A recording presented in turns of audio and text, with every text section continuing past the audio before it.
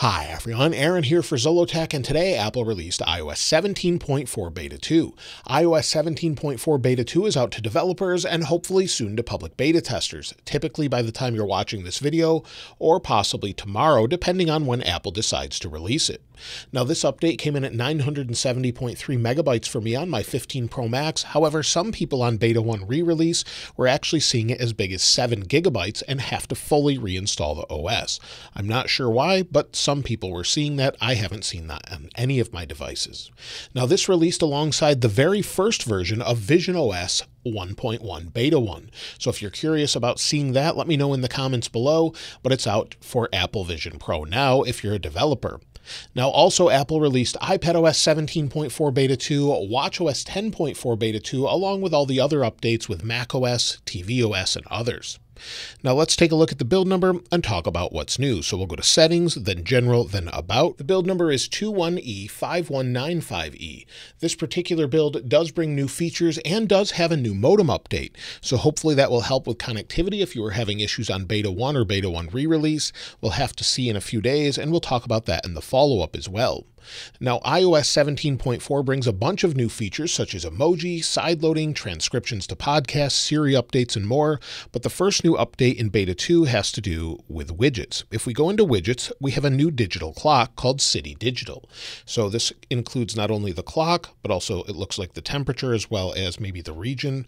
And you'll see here we have City 1, 2, and 3. City 3 looks very familiar, but they've changed it around just a little bit. So maybe they'll make some additional changes to this before it releases to the public, but it is a new widget that we have here. So if we add that, you can use it if you'd like to, or not. I don't typically use a lot of widgets other than weather here. Now, if we go into the Books app, this is a very small update, but brings consistency across iOS. You'll see how it says home here. Before it didn't say that, and you can see on previous versions, if we go over to Books, it actually said read now. I think read now is more appropriate, but they're bringing home to all of the apps, such as music, where we also have a new splash screen. We'll talk about that in a moment, but we have home here, and they did that in podcasts as well. So they're just bringing more consistency across the OS. If we go under settings and then we go down to privacy and security, then scroll down all the way to where it says analytics and improvements, we have a new one here for improve wallet connections. So that's a small one, but it says help Apple improve the linked account experience by sharing anonymously your account information to Apple.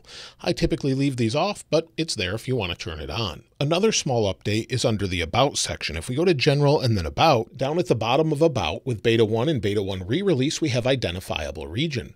It shows the actual region based on GPS, so if you're trying to trick it and maybe try and use side loading in the EU, you can't do that.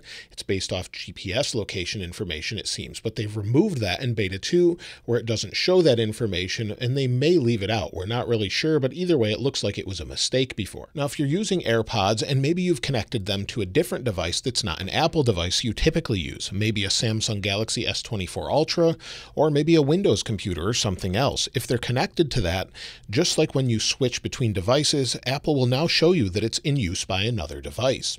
Then you can connect it directly to the device you're currently using. So it's just something new that was in Beta 1 re-release or Beta 1 in general. So I saw that, I tried it on iOS 17.3 and it wouldn't show up. Let me know if you're seeing that as well. Also, one other thing some people are seeing is in my Telegram channel, if we go in there, it seems some people are actually seeing the battery indicator change. I tried this by turning off the percentage. I don't see a difference, but some people are actually seeing it as a circle. Let me know if you're seeing that, and maybe if you have the percentage turned off, if it shows up this way for you, but I haven't been able to reproduce that. Also, one other thing I wanted to mention is a bunch of splash screens. I already showed you the one in music, and I took some screenshots in the other apps that have it as well. And here's the one from music where it says, welcome to Apple Music.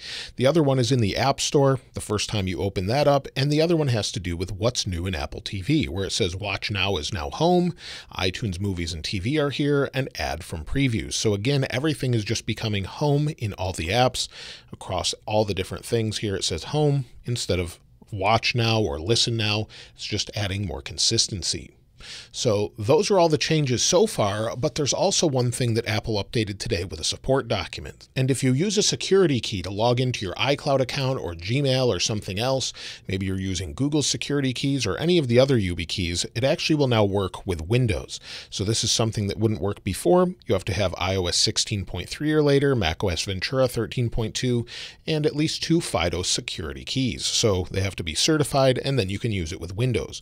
So they actually launched this website today. I'll link it in the description if you want to check it out. But if you're using Windows and you want to log into iCloud.com, you can now use your security keys to do that for two-factor authentication. Now, as far as bug fixes, they finally did it. They actually fixed the notification bug.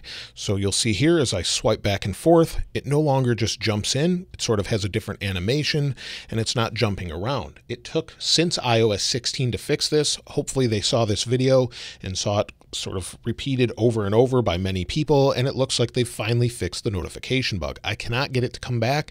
I tried deleting all my notifications, had new ones come in, and again, it doesn't show up. So this is great news. It's not showing at all, and they finally fixed one thing. Also, emoji stickers are working again. If we go into messages and you'll see here's all the new emoji, but if we go in here and then maybe we go to stickers, they're actually showing again where they weren't showing before. So if you're using emoji stickers or something else, it's taking a second to load here, but you'll see that they actually work. So before they didn't work at all, they wouldn't even show up. This was just blank. Now it's fixed in this update. Now, as far as the release notes, they keep updating this, which is great. We'll go into the feedback app, and so far they haven't actually updated it in feedback, but they do have it on the public facing website. And as far as the documentation or release notes, if we scroll down, there's some known issues.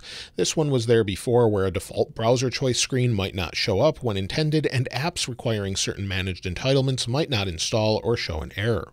They've resolved some issues with the App Store. There's known issues with browser, Engine Kit, HomeKit, Maps. There's still known issues all all over, but there's also resolved issues as well. So Apple continues to work on this, and it's great to see them update these notes. Hopefully, they'll add more and more detail as time goes on, and once it's released to the public, hopefully, we'll see many more notes as far as what they fixed with bug fixes. Now, as far as the overall performance, well, We'll take a look at benchmarks in a moment, but so far I've been pretty impressed. Things are nice and fast things open as you would expect.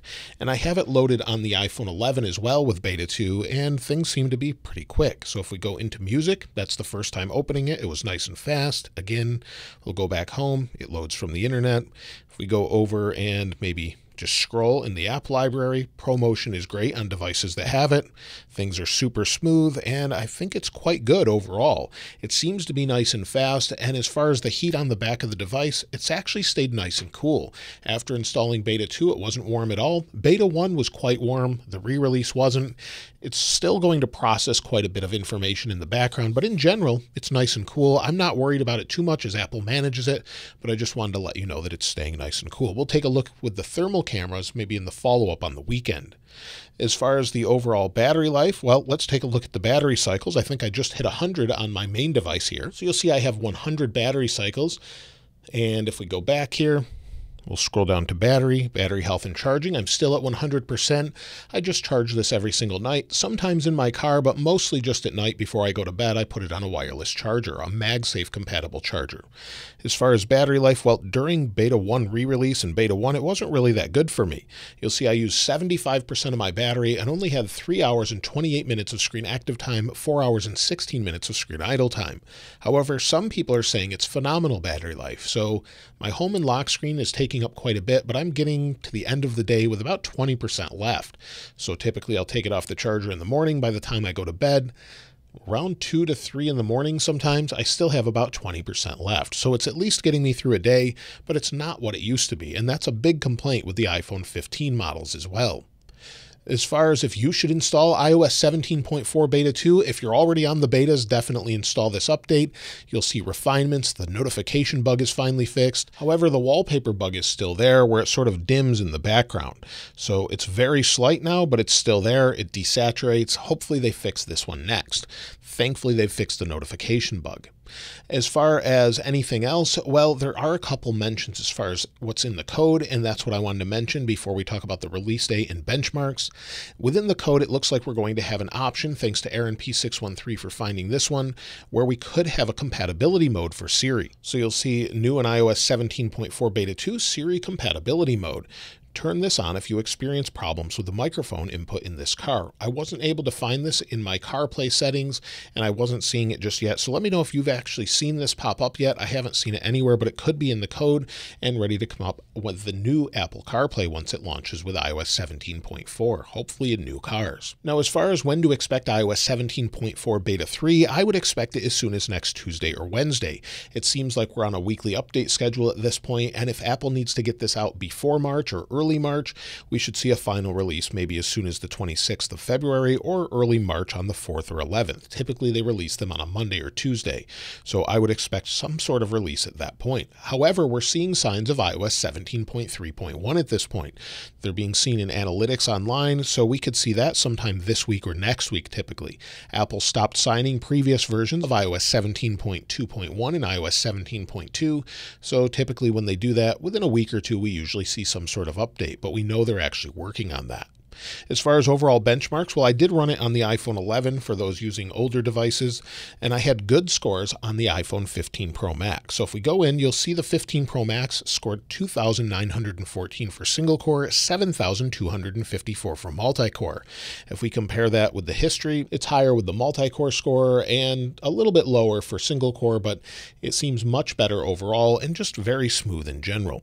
Let me know your overall experience in the comments below, and if you found any additional additional features or things I haven't mentioned yet, I'd love to hear from you there. And if you'd like to get your hands on this wallpaper, I'll link it in the description like I normally do. If you haven't subscribed already though, please subscribe. And if you enjoyed the video, please give it a like. As always, thanks for watching. This is Aaron. I'll see you next time.